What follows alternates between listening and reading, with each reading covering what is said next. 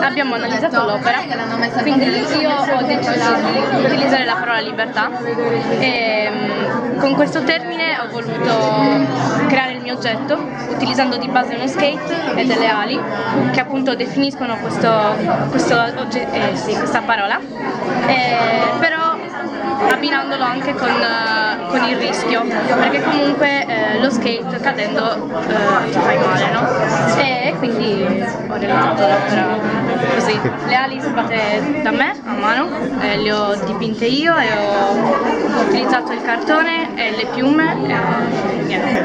Ho lavorato, ho chiesto l'aiuto di alcuni miei compagni che mi hanno aiutato nella realizzazione di alcuni personaggi, Filippo, Filippo Benetti e Giuseppe Filipcic che mi hanno aiutato nella realizzazione, o se no da solo non sarei mai riuscito a concludere il tempo.